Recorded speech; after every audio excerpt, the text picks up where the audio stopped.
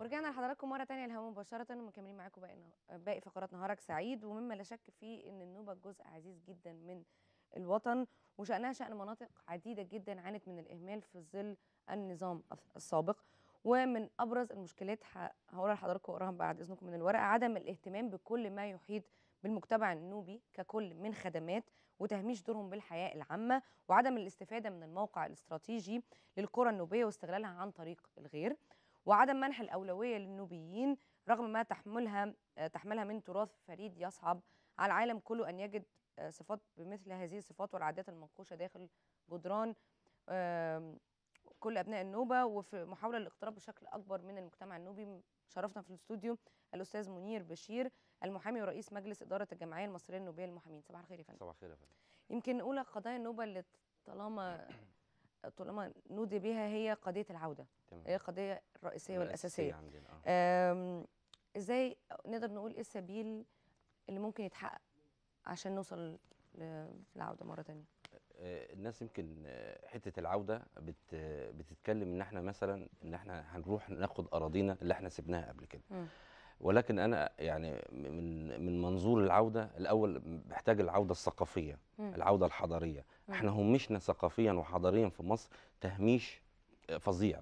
محدش بيظهر الحضارة والثقافة النوبية. وأنا وأنا بقول إن الحضارة النوبية أقدم أقدم الحضارات الموجودة من في العالم. طبعا. و... و... والتنوع الثقافي ده كان لابد ان يبقى موجود في مصر. فأنا بتكلم في العودة الثقافية والحضارية إحنا لما بنقول في تهميش للنوبيين بقول في التهميش الثقافي والحضاري ده أهم حاجة كان عندنا في مم. مصر ووزارة ال- الآثار أو وزارة الثقافة همشت هذا الدور وما. بتظهرش النوبة إيه يعني هم. بيفتكروا النوبة يمكن بيختزلوا النوبة في في فلكلور. أو يختزلوا النوبة إن هم بيطالبوا بالانفصال أدي. الحاجتين يعني أنا آسف في جزء كبير من الإعلام بيروج لهذه الفكرة مم. يا فلكلور نوبي يا يا انفصال. انفصال إنما ما حدش بيقول النوبة كان إيه. نو نو يعني مملكة النوبة دي مملكة كانت تمتد آه، يمكن الأقصر لحد جنوب آه، وادي حلفة دي مملكة وحكمت مصر أكتر من 15 عام. ملوك النوبة فلابد إن أنا أظهر النوبة كانت إيه مم. وإحنا كنا إيه يعني إحنا يمكن الفصيل الوحيد اللي موجود في مصر اللي هو ليه امتداد مم. هو الامتداد النوبي فإحنا همشنا ثقافيا وحضاريا في مصر تهميش فظيع زائد إن إحنا حقوقنا في العودة في الأماكن بتاعتنا اللي كانت موجودة إحنا ضحينا النهارده عشان السد يطلع مم. والخزان يطلع ويتبنى وعم بالخير على مصر كلها مم. المفترض بعد كده كنا نرجع في نفس المكان مم. ولكن طبعا أطماع ناس كتيرة كانت موجودة في النظام السابق وما زالوا في ناس موجودة حتى الآن إن هم مستولين على الأراضي الموجودة مم. هي دي اللي مخليها حتة إن إحنا مش عارفين ناخد الأراضي بتاعتنا يعني هل هي فعلا دي أبرز العقبات اللي بتواجه الحلم ده آه أطماع في أطماع سياسية. وفي أطماع اقتصادية عن طريق رجال الأعمال. طب إزاي ممكن نقدر عشان الحلم ده يتحقق نضع شوية خطوات؟ تمام. في وجهة نظر حضرتك بعد 25 يناير ومفروض مكتسبات ثورة 25 يناير تفتكر حضرتك إيه الخطوات اللي ممكن نحطها عشان نصل للحلم ده؟ أول يعني إحنا النهارده بعد الثورة عملنا وقفات واعتصامات كان كون كون كل كلامنا إن إحنا نوصل لرؤية ثابتة. يعني إحنا مش محتاجين النهارده ناخد الحاجة النهارده. يعني مم. ما كانش عندنا الفكر ده. مم. إن أنا مش النهارده انتظرت 60 سنة مش عاوز الحاجة النهارده. ولكن لابد إن الدولة أنا بعتبر القضية النوبية قضية مصرية. طبعا يا فندم. فلابد إن مصر كلها تفكر. مم. يعني مش مش لازم هم النوبة يقولوا عايزين إيه. مم. أنا عارف أنا عاوز إيه. مم. ولكن كلنا نشارك في هذا الفكر طبعا. عشان نوصل لرؤية كاملة. مم. فإحنا كنا بنفكر آه، آه، نعمل إيه. ف يعني في الآخر اتبلورت إن ينشأ هيئة. ويسمى هذه الهيئة الهيئة العليا لتنمية ضفاف البحيرة. وجنوب السد العالي وإعادة توطين النوبيين. ده الاسم اللي إحنا كنا المسمى بنقول من خلاله يبتدي العودة بكله بكل أنواع العودة العودة الثقافية والحضارية والصحية والتعليمية.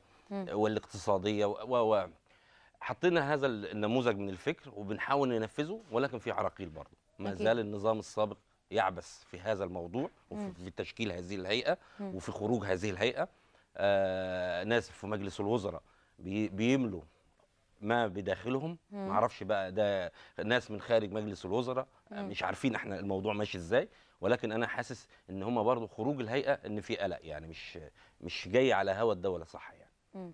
يمكن في مؤتمر آه، عقد في شهر مارس اللي فات آه، مؤتمر حاشد اسمه في مركز اعداد القادة تمام كان إيه الهدف من المؤتمر ده يا فندم هو كنا إحنا عاملين المؤتمر النوبه تنتخب رئيس مم. كان هو الفكر ناس كتيرة مش هل عارفه تنتخب رئيس للنوبة ولا تنتخب لا رئيس تنتخب لمصر رئيس مصر لمصر ما, آه. ما أنا هرجع لحضرتك عشان آه، موضوع بس لا، الانفصال ده هنرجع نتكلم هنتكلم فيه فيه النوبة تنتخب رئيس النهارده أنا أي رئيس جمهورية كنت أنا أول حاجة بشوف البرنامج الانتخابي العام بتاعه مم. أنا كراجل النهارده في مصر مم. بشوف البرنامج العام بتاعه مم.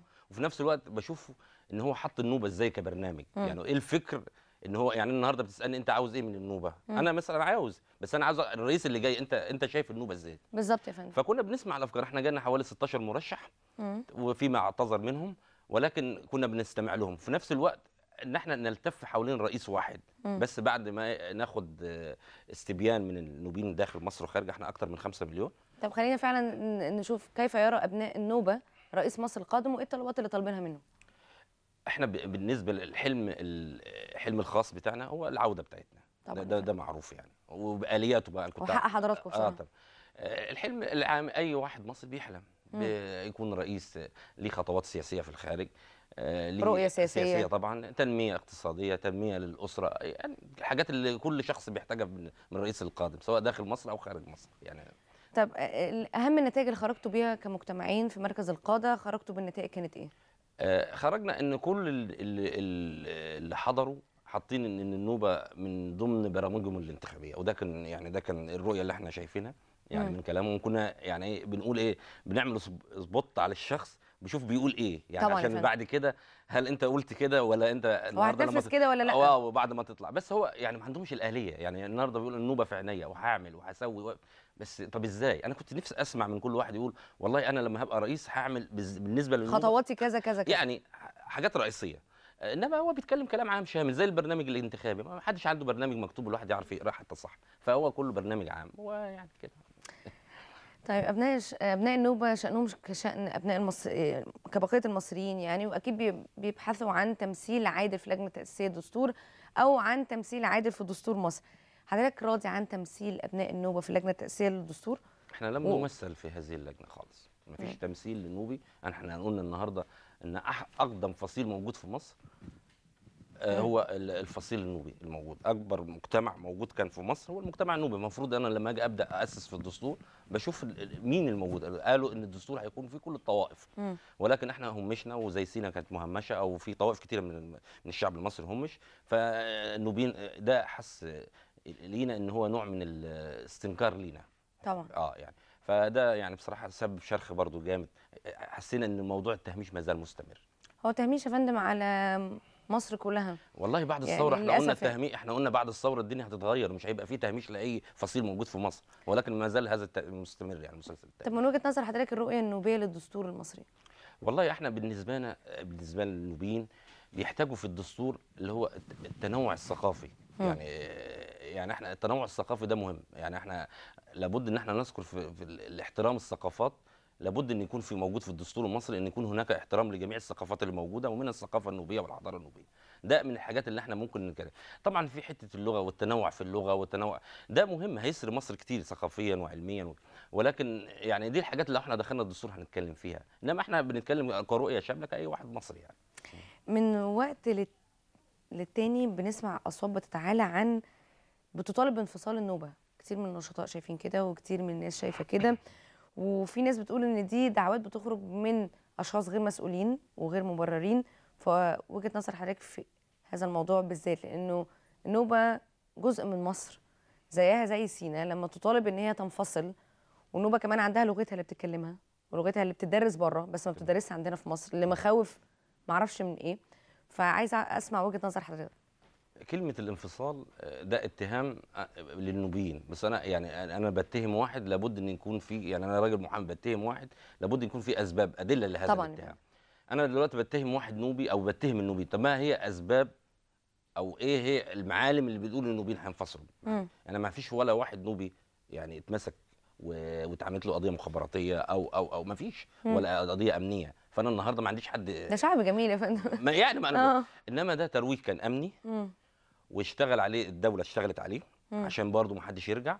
بالإضافة بهدف الترويع يعني. الترويع بالإضافة إلى الإعلام. مم. طبعا أكيد. الإعلام كان ليه دور كبير. ضخم من الموضوع. يقول إنه يعني حتى المفكرين والمثقفين اللي إحنا ممكن نسمع لهم في مصر الموضوع ده في ذهنه. يعني مم. ممكن يتكلم كتير في موضوع الانفصال.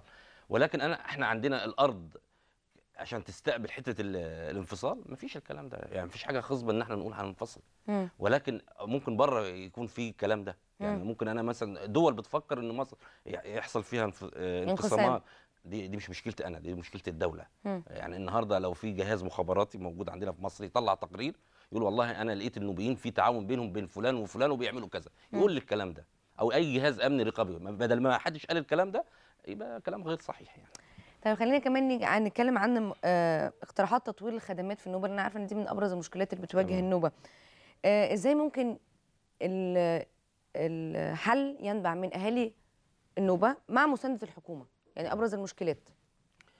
آه، لو في قرى نصر النوبة حاليا آه، الخدمات ما فيش يعني يعتبر الخدمات برضو معدومة عندنا. يعني مم. إحنا ما عندناش حتى المواصلات آه، شبكات الصرف الصحي. آه في شبكات المياه زي موجودة والإنارة موجودة. ده. ما فيش مشاكل يعني. ولكن كخدمات صحية ما عندناش مم. فإحنا يعني المكان يفتقر زي أي مكان في, في أي قرية يمكن. آه يعني, يعني ولكن إحنا حل المواضيع دي اللي هو إن إحنا نبدأ ننشئ مجتمع جديد خلف البحيرة مم. يعني على ضفاف البحيرة خلف السد العالي مم. وبفكر بقى مش يعني النهارده ساعة بناء السد وال- واللي حصل كان بيلموا الناس ويمشوا وخلاص ويبني اي حاجة والناس تقعد وكلام من ده مم. والأراضي اللي اتبنت عليها اللي إحنا في موجودين في قرى قرى نصر النوبة كلها أراضي يعني فيها مشاكل كتيرة في التربة وفي تقارير هندسية كتيرة بتقول الكلام ده. فاحنا النهارده لابد إن إحنا الخدمات لما تروح في يعني النهارده آه، زي تقول إيه في بطالة عندنا جامدة آه ما كنت. عايزة كمان مشكلة البطالة كمان آه لأن إحنا عندنا يعني 70% من الشباب يا بره يا في القاهرة مم. سبب إن إحنا ما عندناش مصدر رزق خالص هنا. مفيش أشغال مفيش أي وظائف فاحنا النهارده بنفتح طريق لل... لل... لل... لل... للشباب والقضاء على البطاله وهو المش... المشروعات التي سوف تقام على ضفاف البحيره. و... ويبتدي نعمل بقى آه، مجتمع متكامل آه، عكس المجتمع اللي إحنا كنا عايشين فيه يعني مم. ده مجتمع آه، ينقصه كثير من الخدمات مم. وبنظرة بقى مستقبلية بنظرة تنظيمية برؤية استراتيجية تكون كويسة هو ده اللي ممكن إنما إحنا يفتقر للخدمات كتير عندنا في مصر كده فندم يمكن سمعنا على مدار ال- الأيام اللي فاتت إن هيتم لقاء مع دكتور كمال الجنزوري رئيس الوزراء لبحث مشكلات النوبة ولبحث ال...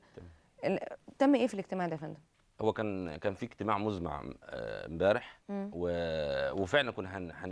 يعني كان في لقاء بيننا وبين الدكتور كمال الجنزوري في يناير اتكلمنا فيه على مشاكل النوبة وحطينا مشروع قانون إنشاء الهيئة. والنوبة قدمت المشروع والدولة كانت مقدمة المشروع وكان هو قال في خلال أسبوع 10 أيام يناقش المشروعين. حصل إن ال- الموظفين أو المستشارين داخل. داخل مجلس الوزراء زي اللي هو نعيم أو الدكتور سيد فليفل ابتدوا آه، إن هم يطوعوا المشروع على هواهم هم نفس. نفس القصة. القصة القديمة آه وبالفعل تم استدعاء ناس ينتمون للنظام السابق. لتمرير هذا المشروع مم. ولكن آه، إحنا ابطلنا هذا الموضوع ده امبارح وطلبنا ان يتوقف هذا اللقاء وبنطلب من الدكتور كمال الجنزوري ان هو يبتدي يعيد نظرته في الناس اللي حواليه وربنا يسهل إن شاء الله. أستاذ منير بشير المحامي ورئيس مجلس إدارة الجمعية المصريه النوبية للمحامين. بشكر حضرتك على وجودك معانا النهارده. شكراً. وبتمنى فعلا إن الكلام ده يوصل لأن النوبة زي ما قلنا هي آه، جزء عزيز جدا من من النسيج الوطني المصري زيها زي سيناء زيها زي كل المناطق اللي كانت مهمشة من قبل. فأتمنى إن صوتنا يتسمع لأن بعد كده ممكن نندم. نتمنى. نتمنى. نتمنى. كل كل المصريين يتفاعلوا مع هذه القضية من آه، وصدقني يا فندم أكيد كل المصريين حاسين. بمشاكل النوبة بس. إن شاء الله. المهم اللي يسمع. إن شاء الله. شكرا. اشكرك يا فندم. ننتقل لفاصل وقبليها بس عايزه أقول لكم إن معانا آه، تقرير فرقة طبول النوبة. اتفضلوا.